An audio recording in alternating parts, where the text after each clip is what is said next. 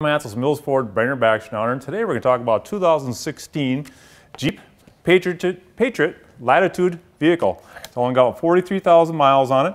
Gets about 26 miles per gallon on the highway. 172 horsepower. Founder. Actually, we're coming around the back down there doing it. it. Has auto start already on the vehicle, but nice Jeep, compact, cloth interior, space down there. Even has the full size spare in the vehicle. The back seats can fold down, so you get plenty of space to haul stuff and level. And you can go to the garage sales, wherever you want to haul a vehicle with.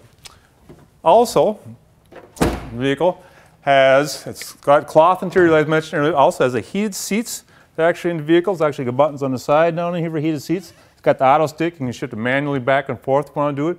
Obviously, all the power group, power windows, power door locks, power windows, cruise control, all it's on the vehicle. Just a nice, good vehicle, solid to get you through the times and through the Minnesota weather.